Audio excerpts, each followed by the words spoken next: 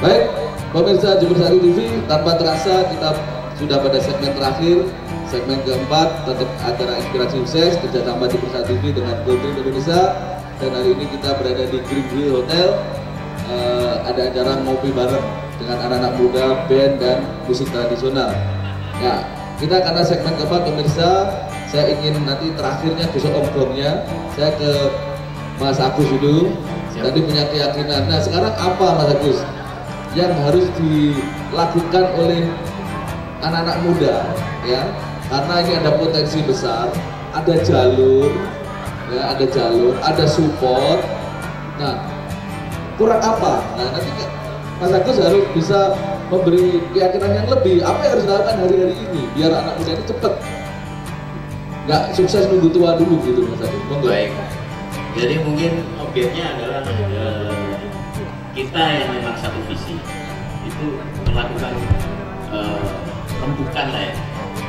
Rembukan itu komposisinya adalah eh, secara teknis kita membangun event kompetisi dulu yang mereka sudah ada backup indie dari masing-masing. Karena Ya. kalau kita bicara eh, band Jember ini sudah mandirinya sudah luar biasa. Tapi siapa yang mendirect? Ya. Terus bagaimana ke depan? Jadi harus ada eh, salah satu orang yang memang bisa membantu membackup kita, pemikiran kita, betul-betul membackup ya. Itu itulah nanti langkah awal. Termasuk malam hari ini bagian Ini ya? salah satunya. Salah satu. Dan ini saya sangat ya. apresiasi. Saya terima kasih kepada Grand Hill dan Pak Arifin juga Mas Adis Ya. juga semua yang terlibat itu Ya. salah satunya. Ini anak muda semua ini. Iya. Cuma nggak mau tampil katanya suka sama yang senior katanya.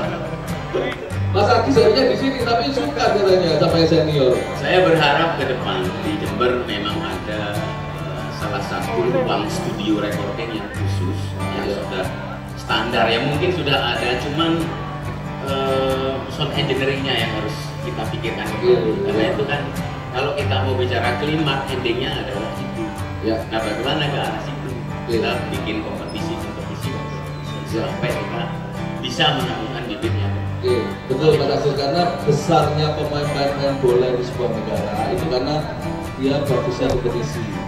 Ya, jadi sama skillnya pemain bola ini akan terasa terus kalau kompetisinya jalan baik. Ya, sepak bola sebuah negara maju kalau skillnya apa kompetisinya jalan. Jadi Mungkin saya- band-band akan bagus kalau kompetisinya juga jalan ya. betul Iya. jadi saya lebih ke teknis konsep Oke. Sip, Nah, beliau lebih ke Ya, luar biasa Mas Agus. Saya terima kasih sekali. Sekarang Pak Toto, apa yang mau dilakukan Hill Hotel dan Mas Agus yang diwakili Pak Toto hari ini untuk ke depan? Apakah selesai hari ini atau ada agenda lagi setelah ini? Ya, begitulah Pak Joman ya. Jadi next dan seterusnya Green Hill melalui Mas Agis siap, Siap. untuk menampung Iya. bahkan termasuk rencana recording tadi itu Ya. juga sudah ada sinyal untuk diwujudkan. Wah, itu karena itu uh, jembatan untuk menuju apa ya, industrialisasi musik ya.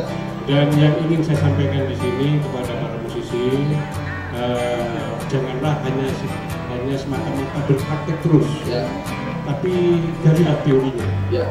Galilah teorinya, karena bagaimanapun juga teori dan praktek selalu Ya, ber untuk memperkuat ya. Iya. Oke, luar biasa dan gongnya ini Gus Om. Apa sarannya Gus Om biar acara hari ini tetap bermanfaat dan ada kelanjutannya dan nanti apa Gus Om yang mungkin Gus Om malam hari ini ya punya langkah yang jitu lah biar membuat acara ini nanti lebih terangkat lagi dan teman-teman muda ini lebih terangkat lagi. Monggo Gus Om. Yang pertama pertanyaannya, kenapa musik Banyuwangi itu ada di setiap karaoke karaoke di Indonesia? Ya, saya juga heran, saya ke mana-mana ke Pacitan musiknya Banyuwangi. Karaoke-nya Charlie, karaoke-nya Inul Daratista, Iya. karaoke-nya Rosa, karaoke-nya Lulus, Ada banyak. Ya itu Gus. Nah ini tugasnya Gus Om juga itu. saya ke mana-mana Jawa Timur kok musiknya Banyuwangi juga ya. Pertama, Pak Anas mampu, mampu Ya. menjual Banyuwangi Oke. Ke mata dunia. Oke. Marketing lagi. Marketingnya Banyuwangi 70 M. Oke, luar biasa. Jember barangkali ada orang PMK di sini Ya. siapkan uang 70 m untuk bikin Alhamdulillah. promosi Iya, luar biasa. 70 M biaya marketing tapi datangnya ber MM kan gitu. Otomatis ya. kalau soal menjadi direct atau membutuhkan studio yang bagus dulu saya di Jakarta itu nomor duanya itu ya wow. Kok nggak diduplikasi di Jember gitu? Atau teman-teman bisa dibawa ke sana ya? kemarin malah orang Bondowoso saya bawa ke sana gratis yang mestinya harus bayar 1,5 m gratis Gitu ya. Nah ini, Kenapa? ayo anak-anak muda yuk. Gus Om siap ini. saya harus mengincar produk ini ketika diindustrikan harus laku kalau nggak laku percuma Sip. buang uang kata dia Oke, sip, betul. Setuju ya. ketika kita mau bicara pasar maka konsep itu harus matang mau dijual ke mana sasarannya siapa Oke, terus TV mana pertama kali yang kita pilih sebagai etalase marketnya oke. penyanyi kalau nggak masuk TV nggak laku mas Betul. Ya. Luar biasa. oh aku mau bermain ke Trans Transkop Transkop ini pemiliknya siapa mainannya di mana Ya. SCTV Industrial mainannya di mana Ya. Antv terus sama TV One mainannya di mana MNC Group mainan di mana Ya. kalau kita paham nyawanya mereka ruhnya mereka kita bisa berpikir Luar biasa. Gus Om saya mohon maaf karena waktu. ya Tapi pemirsa Jember TV eh, ada ilmu yang cukup inspiratif yang tadi disampaikan oleh teman-teman di sini.